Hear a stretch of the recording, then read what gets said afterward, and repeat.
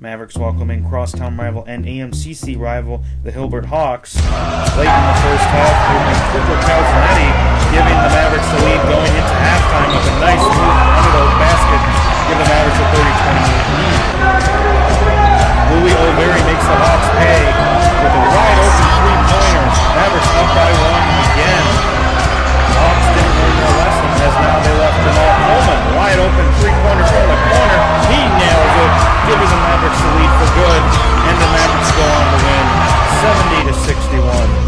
The to 10 and 5.